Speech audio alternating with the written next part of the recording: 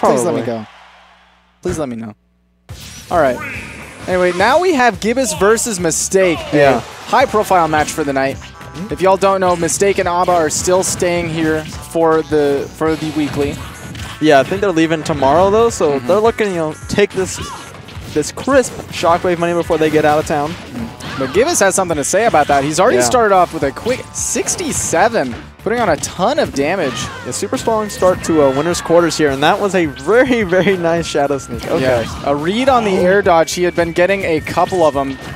You know, at the start, he got the up throw air dodge read into the forward air. Mm. Yeah, he was looking for that up smash there, did not connect. Mistake came down a little bit too fast for him, but mm. okay. Mistake learning from his mistakes, not going for the air dodge again. Yeah, no, not going to fall prey to that one.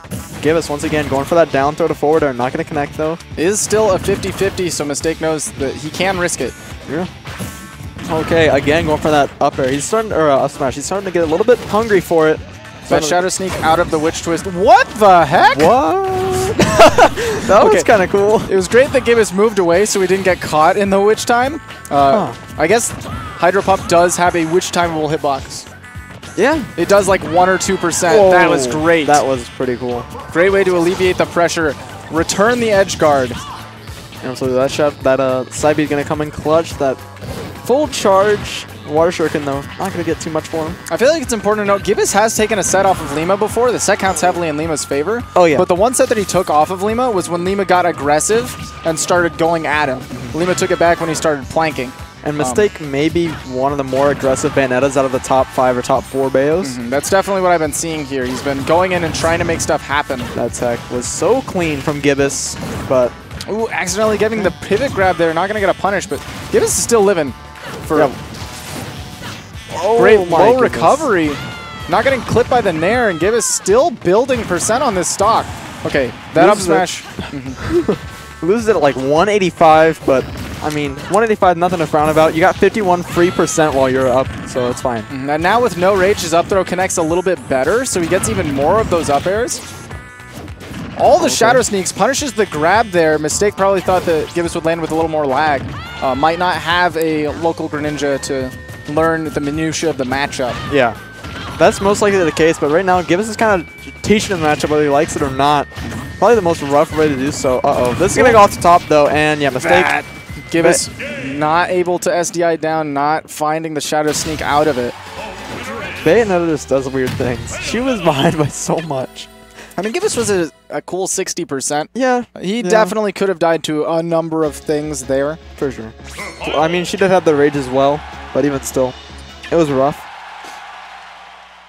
Okay, my bad. They do have a local uh, Greninja player. I don't know everything about every scene that's not us, but I feel Yeah. like it's important for the VODs at least to let people know that Mistake does have JW, the Greninja, to oh, play that's with. true. Yeah, yeah.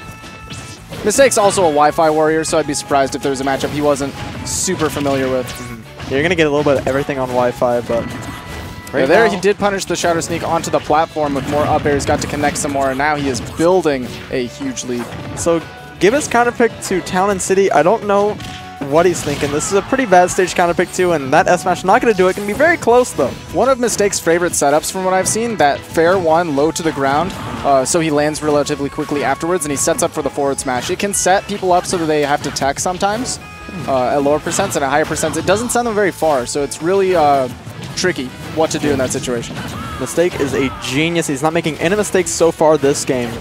He's making a few last game, but not gonna continue that trend. Wow, barely missing that back air. He had the right placement, but just a little bit too early. Gibb is delaying his recovery.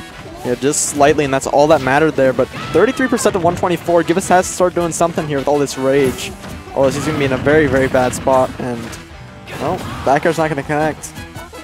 Gibus was able to escape, but he's looking oh rough. That Oh short God. hop down there at the ledge caught Gibus slipping. Uh-oh, is Gibus oh going to die for this. I've said No. this so many times now. When you're up against a Bayonetta and you just spawn from the Angel platform, you got to be very careful about just throwing out an attack because lo- Bayonettas love to just witch time there. And it eats up all of your invincibility as well as gives her a free combo. Yeah, Takes I mean- away one of your huge advantages. Yeah, she's already back up in percent after she lapped Gibus. And Another witch time could be the end this- right here. Oh, not going to get the down tilt. The aerial set-. Yeah, Ariel set too high so he couldn't go for a smash attack and he wasn't quite able to catch Gibus in time for a bigger follow-up. Mm-hmm. Okay, right now though, Gibus looking for a very big follow-up. That up smash gonna do the job. On Town and City, absolutely. Now Gibus does have some rage. Okay, burning that witch time. Uh, it's unfortunate because it just makes it a little bit shorter every time you use it. But 106 to 18. Mistake is sitting very, very comfortably, to say the least. One Yeah. strong move can send Gibus into space. Throwing out those back airs. Even though Greninja is a very low to the ground character, that back air will still hit low the way that Mistake is spacing them. So Gibus has to be very careful. Gibus going low with that up air, but down tilt not going to lead into the back of the Mistake was looking for, but look at that one. Eventually finding it does take out Gibus and move on in the bracket. So we see a 2-0 from Mistake. Uh, going into it, I Just mean, took a little bit of warming up Yeah, it's that first quarters. game. It's doable. It's doable. Mistake just showing I'm top four Bayonetta in the world. I believe he's seeded to play Fi in semis. So if Yes. Fi makes it to him, that's going to be an exciting set. It really will. I feel like Fi uh, understands the matchup relatively well. I mean, he's one of the few people who's taken a set off of Lima when Lima was trying recently. Yeah, I believe at the most recent Shockwave before LTC, Mhm. he was able to take it. Yes, yeah, yeah. So Lima has yet to uh, come back to Shockwave and show him what's up. But No. Lima not here tonight. A little bit scared, I Yeah. feel. that or a flight to SmashCon, one of the two. it's likely the flight to Smash Con. I don't think Lima's scared of anything. no, I don't. Especially, especially. Not in DFW. Unfortunately, not in DFW. I wish we could scare him in DFW, but Fi Fi might have taken him once, but Lima Lima's the kind of person who actually like will go back and study things. yeah, Uh, he has Coach Zeke to uh, help him look over things, and he he figures out a game plan when something's not working for him. there's a reason why Lima went from being our number two HM to number one in Texas uh, in the span of two seasons. It's not because he just got good by sitting around doing nothing. He studied every match he won or lost. He, He was practices. with coach. He practices all the time. Wi-Fi warrior. Yeah. He oftentimes doesn't go to like LAN tournaments, and he'd rather sign up for online tournaments or play like online more because there's gonna be more top players, probably bigger numbers at Hmm. Yeah, some of you them. do get a lot of good practice on Wi-Fi. Yeah. If you have good Wi-Fi and you uh, are willing to deal with the Wi-Fi, Mhm. it can get you a lot of good experience. You level up real quick. So these guys have not played yet. Holding up bracket. My boy Abadango and Chucky are about to go at it though. Looks like we're gonna see the Bayonetta come out from Abadango, possibly. No. He has been going Bayonetta Mm-hmm. in bracket at least game one so far from what I've seen. Okay. Uh, maybe just trying to get some more experience with it.